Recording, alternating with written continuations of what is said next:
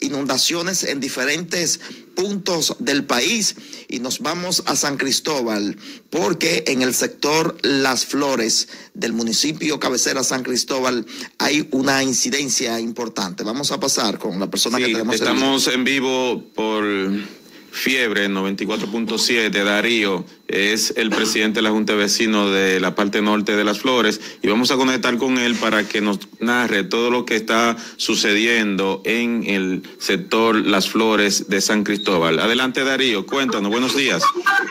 Sí, buenos, buenos días. Adelante.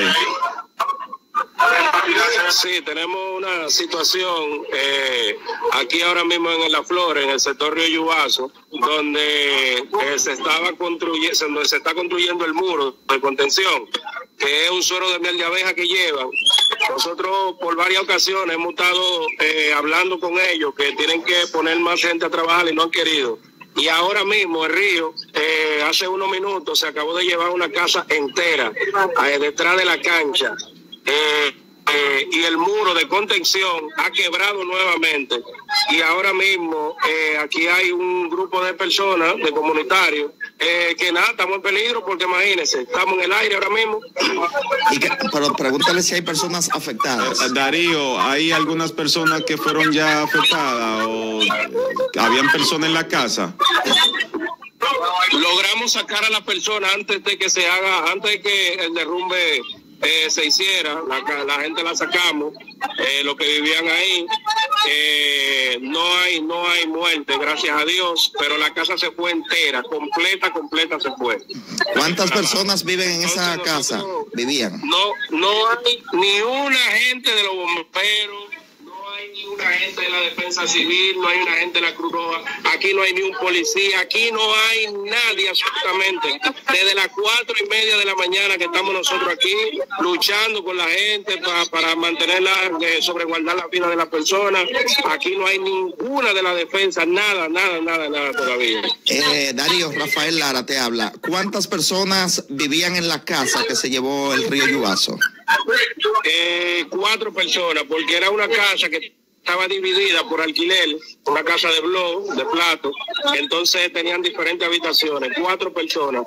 Ok, entonces hay otras viviendas que pudieran estar en riesgo de ser arrastradas por las aguas del río Yuazo. Sí, quedó la, la que le queda al lado, quedó en el aire, ahora mismo está en el aire.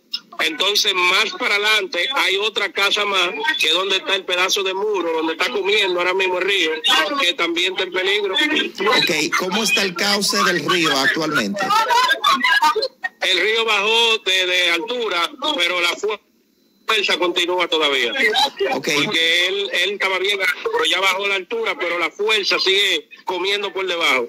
Ok, entonces, ¿cuáles son las labores de asistencia que están dando ustedes y qué cantidad de personas hay en el entorno? Ahora mismo eh, yo como Junta de Vecinos nada más estoy aquí con eh, los miembros de la Junta de Vecinos míos. Eh, vino también Piro, el de la Junta de Vecinos de la Flores, pero ya se fue, vino. Y se fue de una vez. Ahora mismo nada más estamos los comunitarios. Aquí hay más de ciento y pico de personas ahora mismo. Ok, entonces finalmente, Darío, ¿cuál es el llamado que tú le haces a las autoridades de socorro en este momento?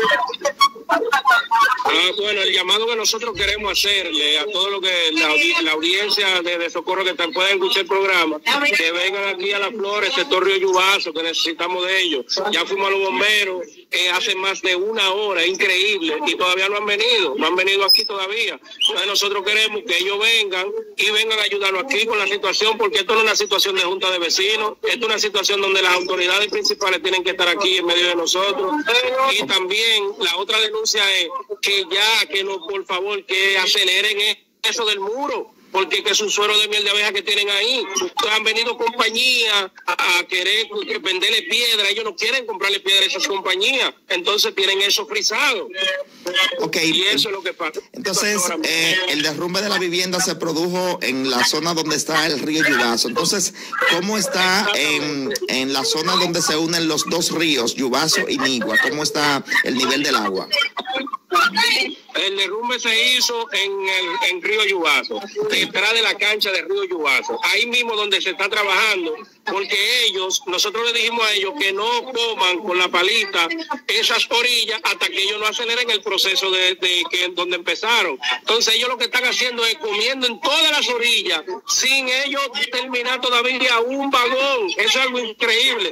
Entonces ahí es donde comieron, dejaron esa casa en el aire y de, de la velocidad que van trabajando, la casa quedó en el aire, ahora fue afectada, se fue para abajo con todo, con todo su trate, todo, todo. Gracias a Dios que logramos sacar a esa gente de ahí. De milagro a Dios. Bien, muchísimas gracias Darío. Ojalá que nos mantenga informado de otras incidencias que pudieran ocurrir cuando las autoridades, eh, cuando las autoridades lleguen eh, para hacer contacto contigo nueva vez, ¿correcto? Ok, gracias, muchas gracias. Okay.